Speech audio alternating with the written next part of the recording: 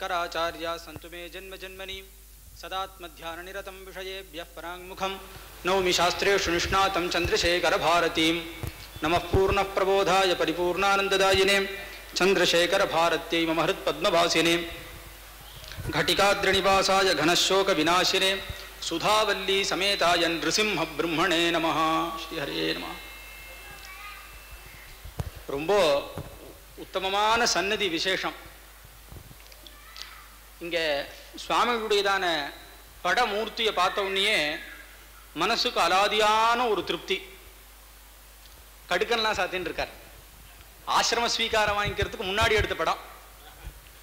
ஏன்னா அப்புறம் ஆசிரம ஸ்வீகாரம் வாங்கி விட்டார். சன்னியாசாசிரமத்தை அவலம்பனம் பண்ணிவிட்டார் சுவாமிகள். சங்கீதம் அப்படின்னு சொல்லிவிட்டா பொதுவான அபிப்பிராயம் என்னன்னு கேட்டா இசை. அசைவதெல்லாம் இசை. இது மனசுக்கு திருப்தியை கொடுக்கறதுனால ஒரு கலைன்னு வேணா இதை சொல்லலாம். அப்படின்னு பொது சாமானிய அபிப்பிராயம். ஆனா அந்த சங்கீதத்துக்கு சொரூபம் அப்படி இருக்கான்னு கேட்டா இல்லை. அதுவும் சேருமே ஒழிய அதனுடைய லட்சியம் எதுல சேரும் அப்படின்னு பார்த்தா இவாளுடைய சரித்திரத்திலேருந்தும் பிரமாணமான சாஸ்திரத்திலேருந்தும் பார்க்கணும். நம்ம எல்லாத்துக்கும் பிரமாணம் எது? வேதமூல பிரமாணம். எங்க யார் எப்படி சுத்தினாலும் வேதத்துக்கிட்ட வந்து நின்னே ஆகணும். இந்த வேதம் சொல்லாத விஷயத்தை இன்னொருத்தர் சொல்ல முடியாது. வேதம் சொல்லாதது இருக்காது. அவ்வளவுதான் இதுல விஷயம். நாம எங்க எந்த சாஸ்திரத்துக்கு சுத்தினாலும் வேதத்துக்கிட்ட வந்தே தீரணும். அதனால தானே லௌகீகமா பேசும்போது கூட டேய் அவனுக்கு அவன் சொல்லிட்டானா வேத வாக்குடாங்கிறான் வேத வாக்குக்கு அவ்வளவு துல்லியம். சரி இந்த வேதமாகப்பட்டது எப்படி? எனக்கு ஒரு மாதிரி அடியனுக்கு ஒண்ணும் இவருக்கு ஒண்ணும் இந்த காலத்துக்கு ஒரு மாதிரி அந்த காலத்துக்கு ஒரு மாதிரி இப்படிலாம் சொல்லியிருக்கான்னா கிடையவே கிடையாது. அதிகாரி வேதத்தை சொல்லியிருக்கு. ஆனா போட்ட நிர்ணயம் யுகந்தரத்துக்கு நிற்கும். எத்தனை யுகமானாலும் நிற்கும். என்ன? வேதம் சத்தியம் பகவானும் வேதமும் ஒண்ணும் வேதம் வேதம்னு சொல்றோமே அது சப்த ராசியான ஒரு சமூகமான்னு கேட்டா சப்த ராசியான சமூகம் தான் ஆனா அதுக்கு ஸ்வரூபம் எதுன்னா பகவானே. நாத ரூபம் தான் வேதம். இது நம்ம எல்லாத்துக்கும் ஸ்பஷ்டமாக தெரிஞ்ச ஒண்ணும் இந்த வேதம் என்ன சொல்றது? இதை செய் இதை செய்யாத. இப்படி இருந்தா க்ஷேமமா இருக்கலாம். எல்லாத்தையும் சொல்லியிருக்கு. பிராமண பாகத்துல நிறைய சரித்திரங்கள்லாம் சொல்லி சிருஷ்டியை பத்தி எல்லாம் பேசியிருக்கு. சிருஷ்டியை பத்தி வேதம் ரொம்ப அழகா சொல்லியிருக்கு. முதல் முதல்ல வந்த பூதம் ஆகாஷாத் வாயு வாயோர் அக்னிகின்னு ஆரம்பிக்கிறது. அதனால இன்னும் நிறைய விஷயங்களை வேதம் பறக்க பேசியிருக்கு. அதை ஒவ்வொருத்தரும் ஒவ்வொரு காலங்கள் எடுத்து பண்ணியிருக்கா. இந்த வேதத்து மேலதான் பகவான் எப்பவும் பிராணனா இருக்கான். ஏன்னா அவன் பிராணனே வேதம் தான் எனக்கு பகவான் வேண்டாம் அப்படின்னு சொன்னா வேதம் வேண்டான்னு ஆயிடும். அப்ப வேதம் வேணும்னா பகவான் வேணும்னு ஆகும். இது ரெண்டும் ஒன்னோடு ஒன்று அவினாபாவ சம்பந்தம்னு பிரிக்க முடியாத ஒன்று இதான் வேதத்தினுடைய விஷயம். இன்னொன்னு வேதத்துக்கு இருக்கக்கூடிய பெரிய மகிமை என்னன்னா தெரியாத ஒன்ன சொல்லணும். என்ன சுவாமி? ஒத்துருக்கு ஒரு சாஸ்திரத்துல நிபுணராக இருக்கலாம். அவரே சகல சாஸ்திரத்திலே நிபுணராக இருக்க முடியாது. ஆனால் வேதம் சர்வஜனான பகவானே பண்ணப்பட்டதுனால எல்லாத்துலேயும் இருக்கும். அதான் வேதத்தினுடைய பெரிய கௌரவம். அந்த வேதத்தை வச்சுன்னா பகவானே நம்ம கிட்ட பேச முடியும். ஸ்ரீரங்க கஷேத்திரத்தில் ஏகாதசியில பருவ காலங்களில் திருமஞ்சனம் ஆறுது உண்டு. அப்படி திருமஞ்சனம் ஆகும்போது நம்பெருமாள் நின்று இருக்கார் அப்போ அவர் சாத்தின் இருக்கிற கைலி வஸ்திரத்திலேருந்து சொட்டு சொட்டா தீர்த்தம் விழுறது. இதை சுவாமி பராசர பட்டர் பார்த்தார். அவர் உடனே ஒரு உத்ரேக்ஷா அலங்காரத்தில் அந்த ஒரு ஸ்லோகத்தை சொன்னார். என் அப்பனே ஜீவனுக்கும் உனக்கும் பெரிய சண்டை நடக்கிறது.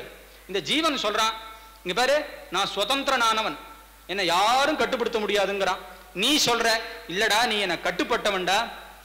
நான் உனக்கு அம்மாவும் தாயும் தந்தையும் எல்லாமும் நான் தான்டா அதனால நான் தான் உனக்கு ஈஸ்வரன்னு சொல்றான். இப்ப ரெண்டு பேத்துக்குள்ள சண்டை வந்துடுத்து.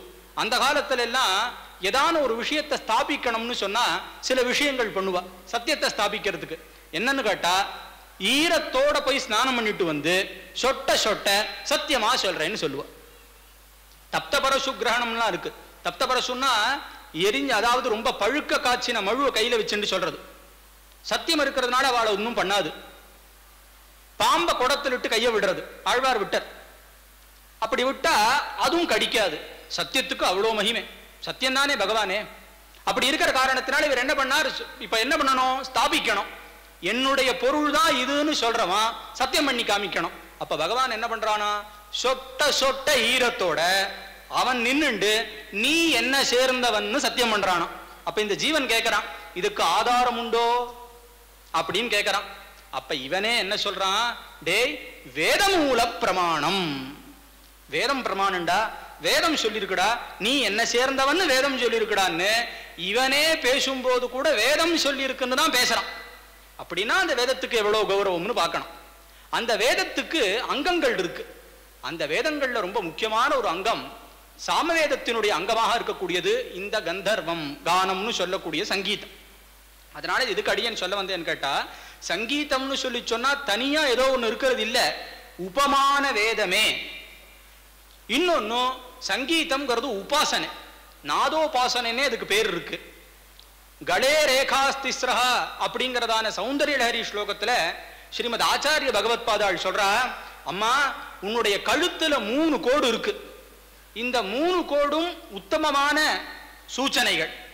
அதோட காமேஷபத்த மாங்கல்ய சூத்திர சோபித்த கந்தரான்னு சொல்லி சுவாமி மங்கல்ய சரட்டுனால மங்கல்ய சரட்டுனால அப்படி கட்டியிருக்காராம் அம்பாளுக்கு. இதுவும் இதுவும் மூணு கோடா இருக்கு. இது எதை தெரியுமா காமிக்கிற மாதிரி இருக்கு? கதி கமகம் கீதம் அப்படின்னு சொல்லக்கூடிய மூன்று ராக கிராமங்களுக்கும் சங்கீத சாஸ்திரத்துக்கும் எல்லை போட்ட மாதிரி இருக்குன்னு ஆச்சாரியால் அங்க ஸ்தோத்திரம். அதற்கு லக்ஷ்மிதரர் அப்படின்னு சொல்லப்பட்ட பெரிய மகான் ஒரு வியாக்கியானம் எழுதியிருக்கார். சௌந்தரிய லஹரிக்கு ஒன்பது வியாக்கியானங்களுக்கு மேல இருக்கு. அதுல அவர் சொல்லும் போது சொல்றார் சார்ந்த தேவருடைய கந்தத்திலேருந்து பிரமாணம் எடுக்கிறார். அன்னைக்கே அடியன் போன தடவை சொன்னேன் விதுலக்கும் ரொக்கேதா சங்கீதக்கோ விதுலக்கும் ரொக்கேதாங்கிற மாயா மாடவ கவுள கீர்த்தனையில தியாகராஜ சுவாமிகள் இந்த சார்ந்த தேவருங்கிறதான பேரை சொல்லியிருக்கார்.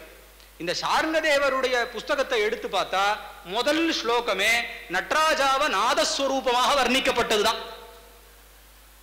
பகவான் நாதரூபனாக இருக்கான் அப்படின்னு.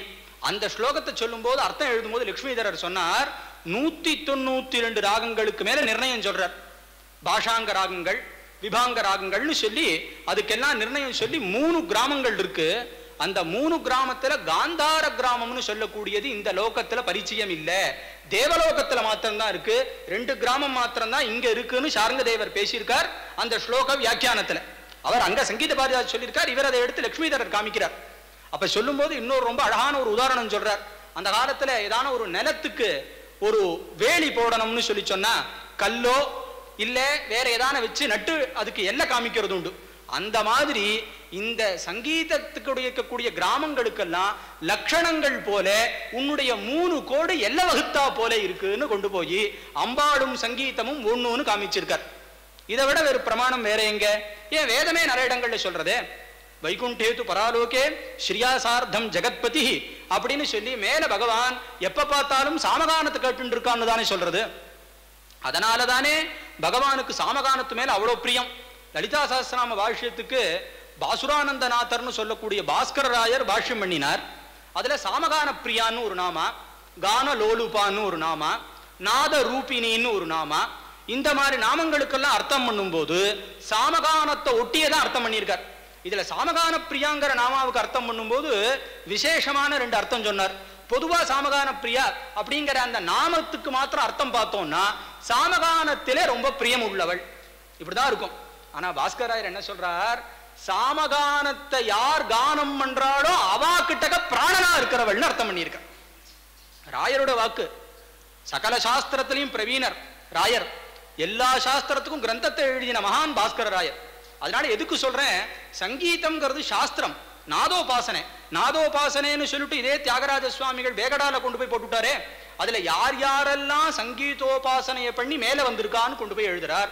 சங்கீத சாஸ்திரமும் அப்படிங்கிறதான கீர்த்தனையில கொண்டு போய் சொல்லும் போது சங்கீத சாஸ்திரமும் பக்தியும் இல்லைன்னா கண்டிப்பா முக்திக்கு போறது கஷ்டம்னு சொல்லிட்டார் சீதா வர தேவகாந்தார கீர்த்தனையில கொண்டு போய் சொல்லும் போது தலையில பிரம்மா சங்கீத ஞானத்தை எழுதலைன்னா முக்தி அடைய முடியாதுன்னு சொல்லிவிட்டார். முகாரியில கொண்டு போய் பிரசித்தமா நம்ம எல்லாருக்கும் தெரியக்கூடிய மோட்ச முகலதாங்கிற இடத்துல ஜீவன் முக்துலகுன்னு ஒரு பதம் போட்டார். கடைசியில கொண்டு போய் கை வச்சுட்டார் ஏன்னா அத்வைத்த சாஸ்திரத்துல தான் ஜீவன் முக்தத்தை பத்தி சொல்லியிருக்கு. மற்ற சாஸ்திரங்கள்ல ஜீவன் முக்தியை பத்தி பேசல. நாதரூபமாக தானே எல்லா இடத்துலையும் வர்ணிச்சிருக்கார். இன்னும் நிறைய இடங்கள்ல சொல்லியிருக்கார். சுரராக சுதாலையை கொண்டு போய் சொல்லிவிட்டாரு. சுகமான மத்தளத்தினுடையதான மிருதங்க துவனி அதுல பரிச்சயம் இல்லாமல் இருந்தா சுகத்தை கொடுத்துடுமான்னு கேட்டிருக்காரு சுவர சுரராக சுதாலே. அப்படி இருக்கிற காரணத்தினால ஏன் தெலுசி ராமச்சந்திர பூர்ண பூர்ணச்சந்திரிகையில கொண்டு போய் சொல்லும்போது பகவன் நாமாவ நாமான்னு தெரிஞ்சுட்டு சொல்லணும். ராமாயணி சபலாட்சுள பேரு ராமாயணி பிரம்மமுனக்கு பேரு. அப்படின்னு சொன்ன காரணத்தினால இந்த சங்கீத சாஸ்திரமானது ஈஸ்வரனை விட்டு பிரியாத ஒண்ணும்னும் வேதம் எப்படியோ அப்படியே சங்கீதம்னும் வேதம் அபியசிக்குமா போலே சங்கீதத்தை அபியசிக்கணும்னு ஆரத் இதெல்லாம் புராணங்கள் ரொம்ப ஸ்பஷ்டமா பேசியிருக்கிற காரணத்தினால அந்த புண்ணியத்தை நமக்கு ஈஸ்வரன் பிரசாதிக்கட்டும்னு சொல்லிட்டு இன்னைக்கு இந்த சபையில எல்லாரும் இவ்வளவு தூரம் இருந்து இப்படி இதை அனுபவிச்சது பகவானுடைய பெரிய அனுகிரகம் தான் இது இன்னும் மேல மேல பூயோ பூயோ அபிவிருத்தியாகணும். இது உபாசனையாக அமையணும். அனுஷ்டானத்தோட சேர்ந்த பக்தியும் அனுஷ்டானத்தோட சேர்ந்ததான சங்கீத உபாசனையும் மறுபடி பழைய மாதிரி மகாவித்வான்கள்லாம் இருந்தா போல திருப்பி வரணும் அப்படின்னு சொல்லிட்டு அந்த விதமான ஐக்கியத்தை ஈஸ்வரன் நமக்கு எல்லாத்தையும் பிரசாதம் பண்ணி சுவாமிகளும் எப்பவும் நமக்கு அனுகிரகத்தை பண்ணட்டும்னு சொல்லி இந்த பாஷணத்தை இதோட முடிக்கிறேன். எல்லாருக்கும் சகல விதமான ஸ்ரேயசையும் ஈஸ்வரன் பண்ணட்டும். இந்த பாஷணத்தை இதோட முடிக்கிறேன். ஜெகத்குரு பார்வதி பதயே அரஹர மகா சந்திரசேகர் பாபு. சரி, சரி.